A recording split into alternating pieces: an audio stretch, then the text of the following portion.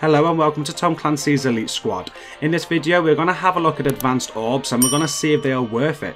One of these will cost you 550 gold but we are going to take a look at opening 10 of these crates to see what we get out of them and to see if I feel it was worth it. 10 orbs will cost you 5,500 gold which in real money is 20 pounds and they are essentially a lottery, uh, sorry, a lottery with you having no idea what you're going to get out of one. You do know that you'll get at least 15 soldier tokens for any given soldier, you'll also get some gold prestige and then the remaining two awards will give you some other resources. I'm going to play me opening 10 of these crates now and we'll discuss what we get for £20 at the end.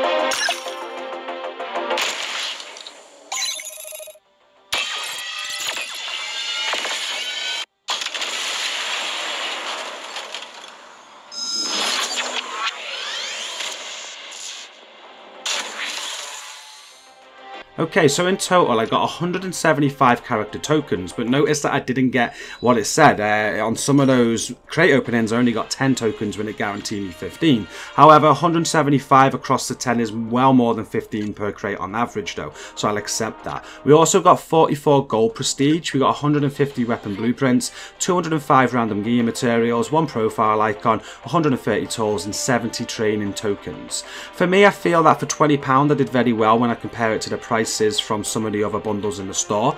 There are better options in these bundles to target, sorry, to target what tokens you get, but it comes at a higher price. I'd still argue that you should only use your gold for energy though. As I mentioned in my recent top tips video, grinding out the campaign and auto-playing missions is the best way to level up and doing so you'll become a lot stronger and unlock, unlock many more soldiers.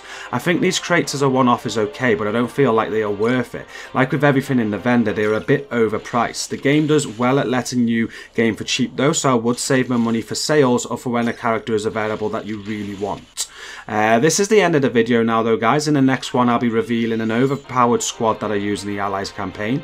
Please hit like on this video if you've enjoyed this one and hit subscribe to see more videos as they go live. And if you are yet to play Tom Clancy's Elite Squad you can download it from the link at the top of my video description. Until next time, thank you for watching this video and peace out.